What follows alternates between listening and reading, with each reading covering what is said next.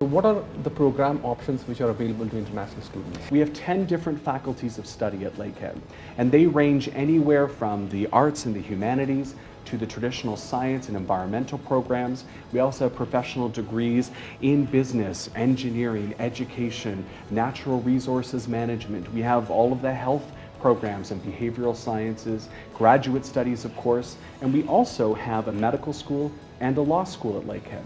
So in terms of that broad diversity, everything and anything is available with Lakehead.